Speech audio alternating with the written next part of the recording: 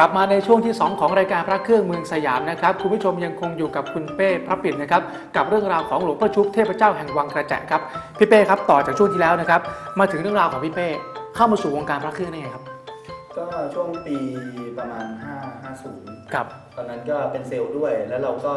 ก็คือเปิดร้านอินเทอร์เน็ตทำธุรกิจที่นี่เลยถูกไหมฮะควบคู่กันไปตตอนนั้นกลับไปเป็นเซลล์แล้วตอนนั้อ๋นอก็ทิ้งกิจการให้อาทำต่อครับผมทำต่อแล้วเราก็อืมอ่าเราก็กลับไปอยู่กรุงเทพก็ครับทำงานอ่า เปลี่ยนจนมาเป็นเซลล์อะครับ ครับ ตอนนั้นก็ได้ที่ผ่านก็คือได้พาเพื่อนอืมมาช่วยหลวงพ่อสร้างวัตถุมงคลตอนนั้นเป็นเหรียญแซยิดครับปี53ก็คือแซยิดอายุ 85 หลวงพ่อครับก็คือทำแล้วก็หาปัจจัยให้ช่วยในการตอนนั้นทำคือพิธีสงฆ์คือตอนนั้นไปกลับไปอยู่กรุงเทพไปทำธุรกิจ แต่คือใจก็ยังมาช่วยทางวัดอยู่ตลอดใช่ครับถ้ามีกิจถึงถึงจะไปอยู่กรุงเทพครับแล้วผมเนี่ยแต่ยังนึกถึงหลวงพ่ออยู่ตลอดอืมก็กลับเข้ามานึกถึงหลวงพ่ออยู่ทุกครั้งครับก็มามาช่วยตอนทำเหรียญใช่ครับครับทำเหรียญผมอืมทำเหรียญทำวัตถุมงคลก็ทำเหรียญแซยิด ก็มีปัจจัยถวายวัดก็สร้างกุฏิสงฆ์ครับแล้วก็สร้างรูปเหมือนปั๊มก็อ่าปรับปรุงถาวรวัตถุนะครัฮะบแล้วก็ปิดตาแซยิดตอนนั้นทำปิดตาแซยิดแจกตอนอายุ 85 ปีหลวงพ่อ ครับตรงเนี้ยครับเริ่มเริ่มเริ่มมีความรู้สึกว่าเอ๊ะเราก็มีตอนนั้นพอเป็นเซลล์มีกำลังแล้วเราก็เริ่มเก็บเริ่ครัมบเก็บปุ๊บคนอยากได้เราก็เริ่มหาแล้วเราก็บางคนอยากได้เราก็มีออกแบ่งไปบ้างให้แบ่งครับให้ผมอะไรอย่างนี้ครับ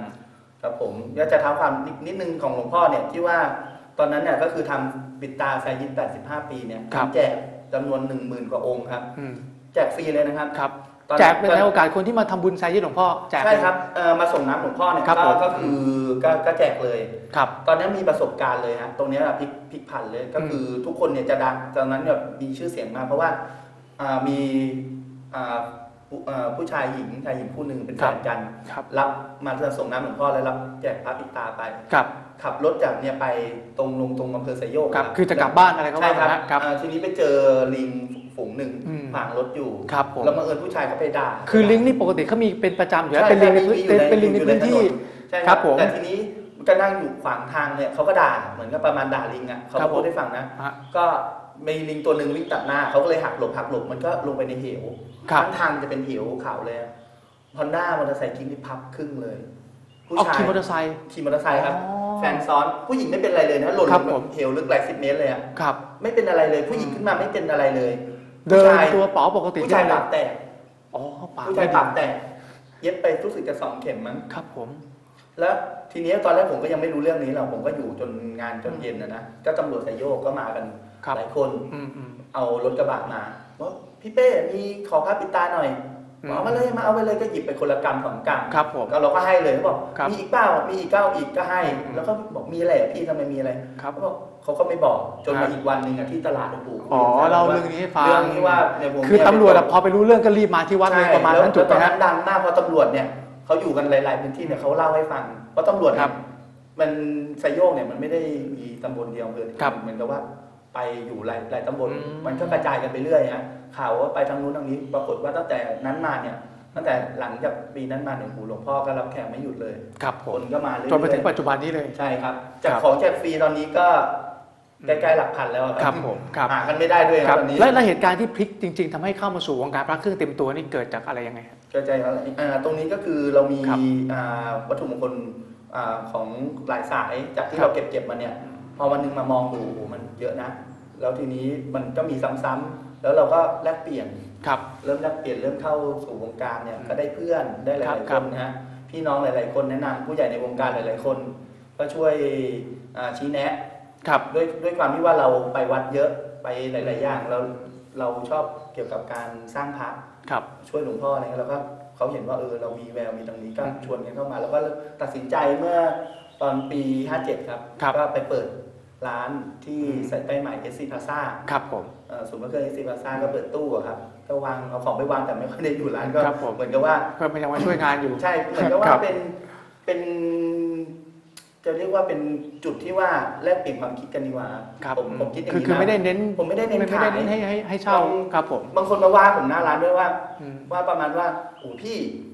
พระพี่ในตู้เนี่ยมีแล้วไม่ขายมีไว้ทำไมบางทีอืมอืมอืม ของบางอย่างของหลวงพ่อเนี่ยมันบางทีมันมีชิ้นเดียว ครับ เราให้เขาดูว่าเอ้ยพี่ของหลวงพ่อดูศึกษาเป็นความใช่รู้ครับให้เห็นว่าของจริงเป็นยังไงอ่าครับผม เหรียญรุ่นแรกเป็นอย่างนี้นะครับครับอ่าเป็นยังไงสมเด็จนี่เป็นยังไงอืม ตะกรุดเป็นยังไงให้ดูให้เสือเป็นยังไงครับเขามีเขาไปเจอเขาก็จะได้เป็นใช่ความจะได้แยกแยะออกได้ถามว่าถ้าครับปล่อยไปเนี่ยเราไม่มีตัวอย่างให้เขาดูเนี่ยครับวันหลังมามันเหมือนกับมันมันไม่มีแนวทางนะอืมอืม มันก็เป๋กันไปหมดใช่ไหมครับ แต่ละเราก็เหมือนในใจก็คือเปิดเป็นที่ที่แบบว่าแลกเปลี่ยนความรู้ความคิดใช่เห็นคกัรัน บที่นะครับ ตู้ก็จะมีของ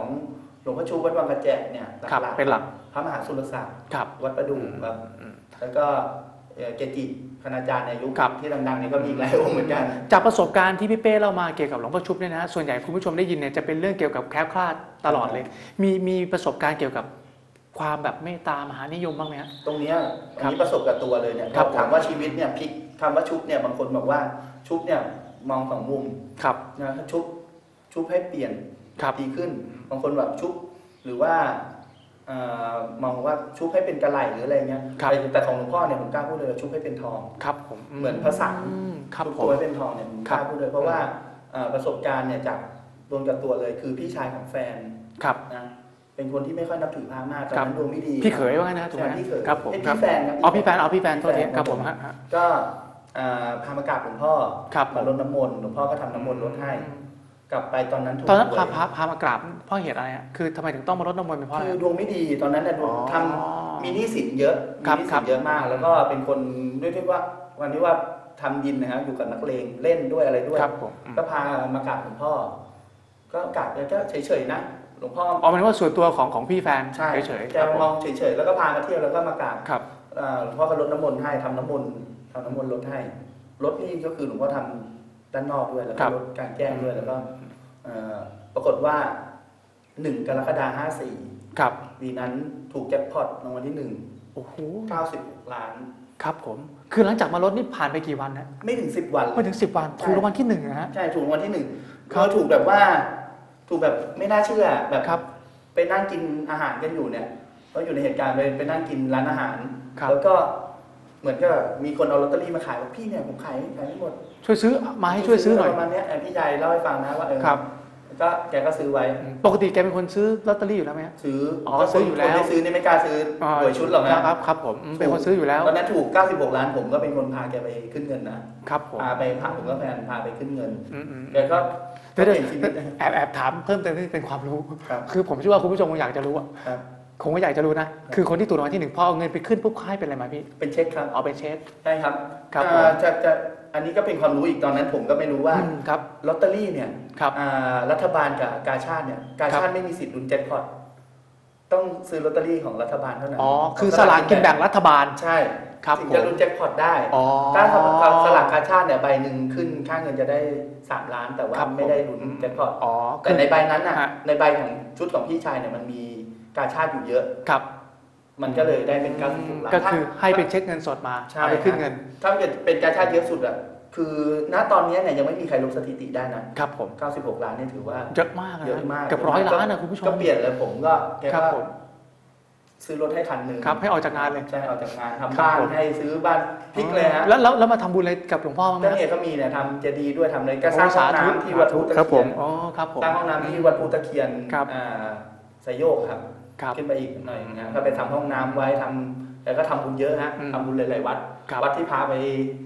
รดน้ำมนต์อะไรเงี้ยครับครับผมแต่ปัจจุบันนี้คุณผู้ชมหลวงพ่อท่านไม่ได้ทำน้ำมนต์แล้วนะครับผมคือเดี๋ยวคุณผู้ชมฟังก็เดี๋ยวจะมาก็มีคือหลวงพ่อท่านอายุเยอะแล้วครับนะฮะมีเก้าสิบแล้วต่คุณผู้ชมครัมับนเป็นเป็นเป็นจังหวะมากกว่าอืมจังหวะ เป็นเป็นดวงของผมว่าเป็นดวงของพี่แฟนด้วยแหละใช่ครับคือแบบเหมือนแบบอาจจะแบบดวงไม่ดีมาตลอดพอมาทำด้วย พอเกิดความศรัทธาก็เปลี่ยนใช่ครับไปในทางที่ดี ครับตอนนะครัทำบบ้านเนี่ยก็นิมนต์หลวงพ่อไปด้วย ครับตอนที่บ้านนั้นตอนตอนนั้นถูกก่อนปีน้ำท่วมพอดี อืมอืม ก็ถูกหวยปุ๊บปีนั้นน้ำท่วมพอดีตอนนั้นเลือกตั้งนายกครับ ยิ่งรักษณ์เลยตอนนั้น อ๋อ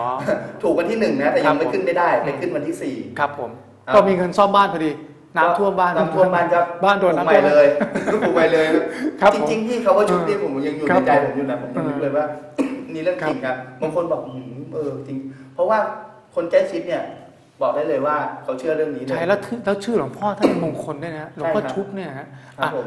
มาอีกเรื่องหนึ่ง ที่บอกว่ามีมีความศรัทธาในตัวหลวงพ่อเพราะว่าคือท่านก็เป็นลูกศิษย์สายหลวงปู่สุขแล้วก็มีใช่ครับลูกศิษย์สายเกจิคณาจารย์หลายสายเลใช่ยครับ เล่าตรงนี้นิดนึงครับ ได้ครับ ฮะก็เดิมทีเนี่ยท่านเป็นศิษย์อ่าอาจารย์ลื่นเนี่ยตัวครับอ่าอาจารย์ลื่นเนี่ยที่เรา ท่านเป็นศิษย์หลวงปู่สุข ครับ ซึ่งเป็นคารวาสใช่แล้วที่ช่วยหลวงปู่สุขสักยันต์ใช่ถูกไหมครับครับ อ่าแล้วก็ท่านท่านก็ยังเป็นสหธรรมกับ ครับอ่ากรมหลวงชุมพรเป็นสหะเลยอะเป็นครับผมเป็นเพื่อนกันเลย เป็นเป็นผู้ลงเข็มศักดิ์ให้ครับ ประวัตินะฮะอืมแล้วหลวงพ่อชุบเพราะว่านี่ยกรมหลวงชุมพรท่านก็เป็นลูกศิษย์หลวงปู่สุขอยู่แล้วใช่ครับอย่างที่ทุกคนทราบดี ใช่ครับ ก็เป็นลูกศิษย์ยุคเดียวอายุไล่เรียกกับหลวงพ่อไล่ชุบเรียถูกกกัไหมนคครัรับ บแต่ว่าครับ ด้วยความที่ว่ากรมหลวงชุมพรท่าน ท่านท่านเป็นอ่าท่านเป็นเชื้อพระวงศ์ใช่ครับผมครับครับ ก็เหมือนกับว่าท่านก็ไม่ได้อยากเป็นพระสหาย ใช่เป็นครับพระผมสหายอย่างนั้นฮะครับผม ครับผมแล้วก็เอ่อ หลวงพ่อชุบเนี่ยตอนอุปสมบทเนี่ยท่านบวชที่วัดคูใช่ไหมครับแล้วก็ท่านก็มาอยู่ที่วัดเพชรสมุทรครับครับผมวัดเพชรสมุทรเนี่ยท่านก็ได้มาเป็นศิษย์กับมหาสิทธิการทองอืมมหาสิทธิการทองเนี่ยคนแม่กลองย่อมรู้ดีว่าเป็นเกจิที่ว่าเป็นศิษย์หลวงพ่อคงวัดบางกระพร้อมครับผมอันดับต้นๆเลย คือว่า แล้วหลวงพ่อเนื่องเนี่ยท่านก็เป็นสหธรรมกันด้วยครับผมหลวงพ่อชุบเนี่ยกับหลวงพ่อเนื่องท่านก็มีความเกี่ยวเนื่องกันครับบ้างครับ อันนี้เป็นคำยืนยันจากอาจารย์อิทวัจจุลามณีนะเจ้าครับผมปัจจุบันครับยืนยันกับผมเลยเล่าใช่ประวัติส่วนคืตัวอให้ฟังว่าอย่างที่เราได้ทราบประวัติจากจากหลวงพ่อมาแล้วนะฮะคือท่านเป็นคนพื้นเพเนี่ยท่านเป็นคนแม่กลองใช่ถ้ามีคนไม่นะกรอฮะงแต่ว่าท่านมาอยู่ที่นี่ใช่ครับทุดงค์มาชาวบ้านศรัทธาให้ท่านอยู่ที่นี่จนไปไหนไม่ได้แล้วล่ะท่านต้องอยู่ที่นี่ท่านเป็นญาติกับหลวงพ่อกึ่งวัดสวนแก้วญาติห่างๆแล้วหลวงพ่อกึ่งเนี่ย ท่านก็ศิษย์หลวงพ่อคงอยู่แล้ว ครับผม ถ้าเป็นเครือญาติกันเหมือนกับว่าเป็นเป็นญาครัติบทางพ่อแม่ ครับ แล้วตอนบวชเนี่ยก็อาจารย์เอ่อหลวงพ่อกึ่งเนี่ยก็เป็นเป็นอุปชฌาย์ให้ครับผม นะฮะหลวงพ่อทองเป็นอ่าก็เหมือนกับว่าเราพอบวชอยู่ระยะหนึ่งก็ไปอยู่วัดเพชรครับ เหมือนกับทางวัดเพชรเนี่ยเป็นวัดที่เป็นตักศิลาคือเป็นสำนักเรียน ครับผม ท่านก็ไปอยู่ที่นั่นนะฮะแล้วพอมาช่วงประมาณปี 2500 กว่าเนี่ยท่านก็มีความรู้สึกเบื่อหน่ายบอกเอ๊ะ อยู่แล้วท่านก็เลยออกทุดงค์ครัไปบหลายที่ครับเพชรบุรีอะไรเนี่ยไปหมดอืมจนมาเนี่ยที่เมืองการเนี่ยครับครับ ก็เป็นจุดเริ่มต้นของวัดบางกระแจคือท่านทุดงค์มาที่ถ้ำละวาคสรับมัยก่อนคือซึ่งมีวันที่ได้ก็พ่อหลวงพ่อชุบจริงใช่คกัรับบท่านเป็นพูดอย่างนั้นผู้ครัเป็บนผมผู้บุกเบิกเลยๆอืมเริ่มต้นสร้างโบสถ์สร้างจากที่ดินว่างเปล่าคุณผู้ชมใช่ครับไม่มีอะไรเลย จากที่ดินว่างเปล่าเนี่ยแล้วครับกันดารมากสมัยก่อนอืมครับโอ้ยอันตรายมากผมกล้าพูดได้เลยว่าสัตว์ป่างูเงี้ขยนาดเขี้ยวขอปีอะไรสี่เงี้หยกมาเนี่ยขี่ มอเตอร์ไซค์เข้ามาเนี่ยงูเห่าเนี่ยครับตรงผม อางเนี่ยเยอะแยะริมทางเนี่ยเห็นเลยริมนะ ทางใช่ครับ เยอะมาก ผมครับยังเคยเจอเข้าห้องน้ำยังเจองูแบบโอ้โหยังแบบโอ้โหหลวงพ่ออยู่ได้ยังไงหลวงพ่อบอกครับอยู่ได้เราไม่ทำเขาเขาก็ไม่ทำเราท่านก็แผ่เมตตาให้สรรพใช่สัตว์ครับเลยท่านโอ้โหความเมตตาท่านนี่สุดยอดครับครับ ผมเราอืมเจอกับตัวมาหลายอย่างเนี่ยโอ้โหบางทีเล่าสองวันสองคืนยังไม่หมดเนี่ยคือคุณผู้ชมท่านอยู่ตั้งแต่ยุคสมัยที่แบบเนี่ยเป็นป่ามีสัตว์ป่างูเขี้ยวเขี้ยวขอท่านอยู่มาจนถึงปัจจุบันเนี่ยคุณผู้ชมคิดดูใช่ครับ ครับผมห้าโดยสิบที่กว่ท่านปีไม่เคยนะได้รับอันตรายเลยจากใช่ครัจาบกพวกนี้เลยนะฮะใช่ครับแล้วครับอยู่ผมที่เนี่ยท่านเหมือนเป็นที่พึ่งของชาวบ้านใช่เพราะว่าเราก็รู้อยู่ว่าจังหวัดกาญเนี่ยเป็นจังหวัดที่มีอาถรรพ์ครับผมประวัติศาสตร์เรื่องราวใช่ต่างๆเรื่องราวเนี่ยโอ้โหสู้รบปรบมือหลายๆอย่างการการลบล้างล้างฟันเนี่ยเยอะมากครับผมที่เนี่ยเป็นเหมือนกันดินแดนอาถรรพ์เลยครับผมคนที่นี่โดนผีเข้าบ่อยอืมตอนผมมาเนี่ยตอนนั้นหลวงเป็นพ่อรอยต่อกับประเทศเพื่อนบ้านเลยใช่ครับครับเนี่ยหลวงหลวงพ่อนั่งอยู่เนี่ยมีคนมาเดี๋ยวแล้วเดี๋ยวผีเข้าครับครับ หรืออย่างที่โรงเรียนสายโยกครับอ่าสายโยกน้อยเนี่ยฮะบางทีผีเข้าบ้างอะไรเงี้ยครับตอนนี้มนต์หลวงก็นิพ่อมชุนบต์ไปได้ไปผีคือคุณผู้ชมคนสมัยก่อนอะเป็นอย่างนี้จริงใช่ครับๆสมัยนี้ก็ยังเป็นอยู่มันหลีกเลี่ยงไม่ได้เรื่องพวกนี้คือบางทีมันมีเหตุการณ์อะไรที่มันเกินกว่าที่หมอจะลงความเห็นว่าเป็นอะไรได้ใช่ครันะบมันก็ใช่ครับก็ต้องมันเหนือพึ่งพาพระเหนือธรรมชาตินะครับผมที่จะไปแบบไปดูแลไปขจัดปัดเป่าตามความเชื่อของแต่ละคนอันนี้ใช่ครับนะครับ แต่ผมพูดตรงๆนะ คืออย่างที่พี่ไปบอกคือกาญจนบุรีเนี่ยเป็นดินแดนที่เต็มไปด้วยเรื่องราวประวัติศาสตร์คือถ้าไม่เก่งจริงอยู่ไม่ได้ใช่ครับนะฮะโอ้โหหลายอย่างครับผม ที่นี่เหมือนกับแบบแดนอาถรรพ์จริงหลวงพ่อยังบอกเลยว่าอยู่แรกๆเนี่ยปักผมอยู่เนี่ยโอ้โหครับผมโอ้แทบจะบอกว่าไม่แทบจะไม่ได้ปฏิบัติไม่ได้สงบเลยฮะใช่ครับครับเอาละครับเดี๋ยวช่วงหน้านะฮะเรามาดูวัตถุมงคลนะครับ ตรงนี้กันนะครับ ซึ่งแต่ละอย่างนั้นถือได้ว่าเป็นของดีหาดูยากนะครับ แล้วก็บางบางส่วนก็เหลือองค์เดียวด้วยถูกไหมฮะนำมาให้ดูเป็น เป็นตำรับตำรากันผมพักสักครู่นะครับ